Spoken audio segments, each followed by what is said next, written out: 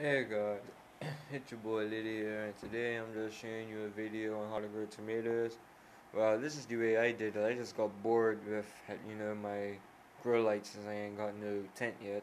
But there's things, what I did for my first indoor grow setup was, um, I put that outside, so yeah. But this is just a quick setup how you could set this up in your own home. I mean, for me, a boxing bag used to be there, so how convenient is it for me to do this?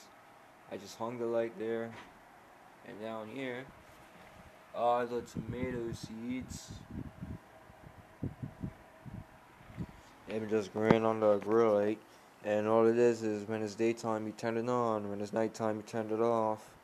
But you still have the fan. Well, the fan could be off too, but yeah, I mean it never affected them. It's just that, well, that's just the way I did it. Like no joke. So like how to set up your own grow thing. Just got a spot in your house, do this here. Yeah man. Awesome. Make sure you have your fan for oxygen. I got it on level 2 and is able to hit that, so yeah. And this is a quality model. So yeah, um this is real good and thank you for, you know, viewing my video. And don't forget to subscribe for more epic content.